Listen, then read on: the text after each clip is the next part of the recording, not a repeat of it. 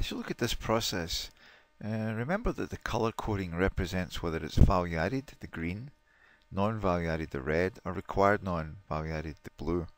And this means that if you want to generate a report, say for to create a uh, value stream map, you can click here and go to the value stream map here. Let's say I'd like to keep it in the same area, I have the other documents here. So I go to my Timer Pro, I pick up my processes, my here, and I'm going to call it my value stream.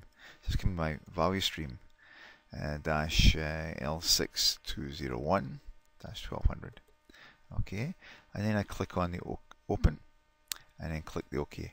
Just going to start putting together a value stream map. So what we have here is a template that again you can customize to your own particular needs. Now what you're seeing at the bottom there where you see the uh, green, blue and the red writing, that's individual process steps being placed into the value stream map along with the links to the videos for each of the different uh, activities being performed here.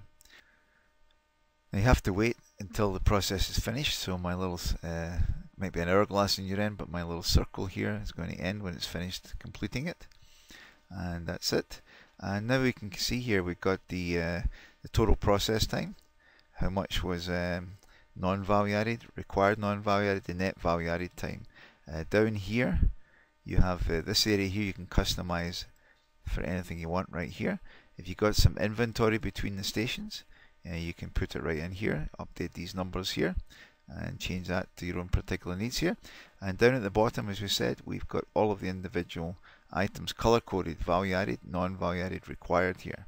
So for instance if you wanted to look at this apply the final decal here right? I can double click on the video and it'll show you the video right here again you need, don't need anything special. Give them Excel and access to the video here.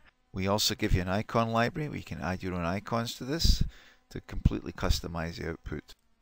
You can draw your own pictures up at the top here representing what's going on in your process